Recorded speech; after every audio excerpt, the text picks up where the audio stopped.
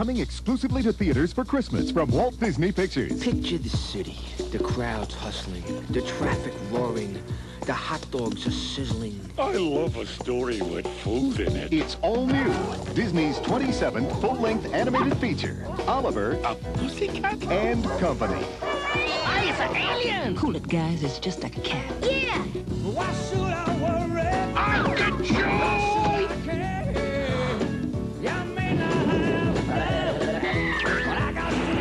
It's the story of Oliver, The little furball. a New York City orphan who joins the Dodger, Fagin, and some of the most hilarious characters ever Hey, man, check it out.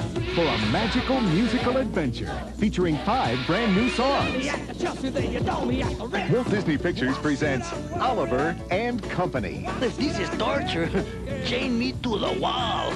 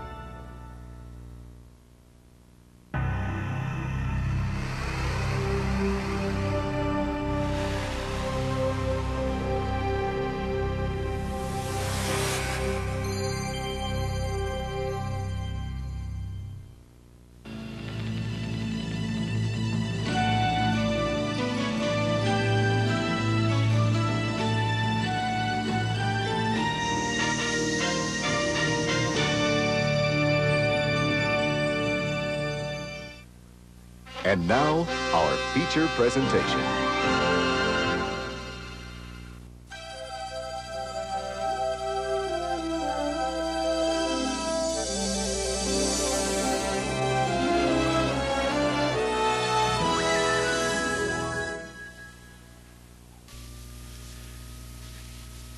I was sitting with my friend Arthur Kornblum in a restaurant. It was a Horn & Hardart cafeteria.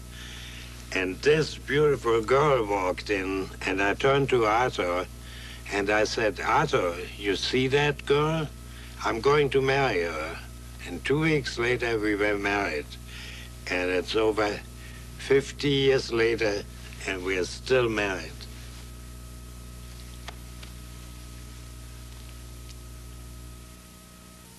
Well, he was the head counselor at the boys' camp, and I was the head counselor at the girls' camp. And they had a social one night, and he walked across the room.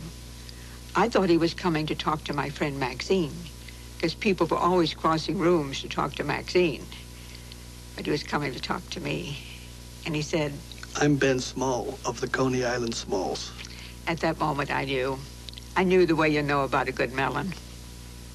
a man came to me and said, I found nice girl for you. She lives in the next village and she is ready for marriage. We were not supposed to meet until the wedding. But I wanted to make sure. So I sneaked into her village, hid behind a tree, watch her washing the clothes. I think if I don't like the way she looks, I don't marry her. But she looked very nice to me. So I said, okay, to the man. We get married. We married for 55 years.